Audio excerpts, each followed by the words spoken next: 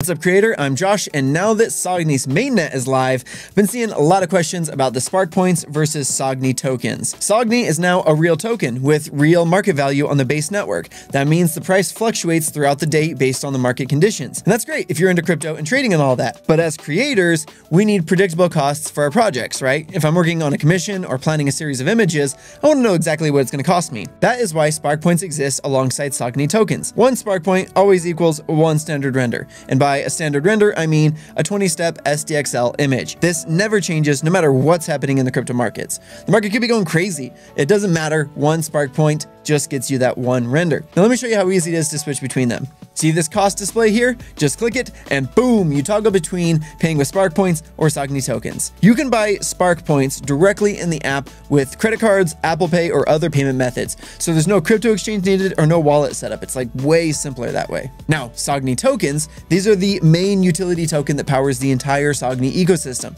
It's what workers earn for processing jobs. It's what trades on exchanges, and it's what you'll use for future features like DAO governance voting. When you pay with Sogni, the amount adjusts based on the current market price. But here's the thing to understand. It always equals the same half cent per render in USD value. The GPU cost stays the same, the dollar cost stays the same, and so the token amount is what's going to be changing. All right, let's talk about when you're going to use each one because that's really what matters. You're going to want to use Spark Points when you want if you want to buy them with a debit card or when you know exactly how many renders you want your balance to cover. Maybe you're working on a project and you want to create 50 variations, you know you need 50 Spark Points. It's easy math. And all in-app rewards like daily boosts and referral rewards, they come as Spark Points now. But the bigger rewards like community contests and airdrops, those are still going to be paid out in Sogni tokens. So then, you know, when should we use Sogni? If you're chasing the leaderboard positions, Sogni gives you a 10x multiplier versus a 7x for paid Spark and a 1x for the free Spark tokens. Can be a pretty big difference if you're trying to climb the ranks. You also need Sogni if you're participating in staking for extra rewards. But there is an important detail about Spark Points